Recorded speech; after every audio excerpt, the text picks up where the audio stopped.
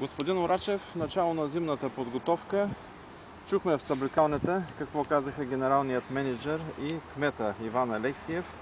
Със сигурност и вие сте на тяхното мнение.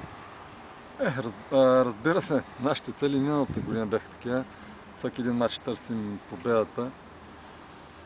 Конкретни не си поставяме.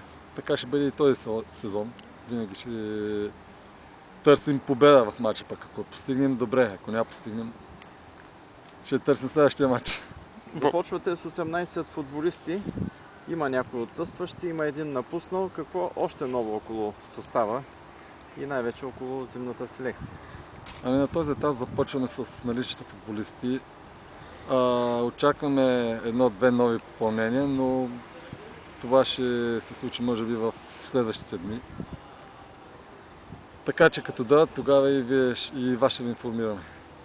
Господин Алексеев и господин Ралев бяха категорични атака на група. Готов ли е в този си вид поморие за подобна? Чак категорична атака в А-група не бих казал, но на този етап с този състав може би не може да се играе в А-група, но в А-група ще трябва повече селекция, по-качествена селекция.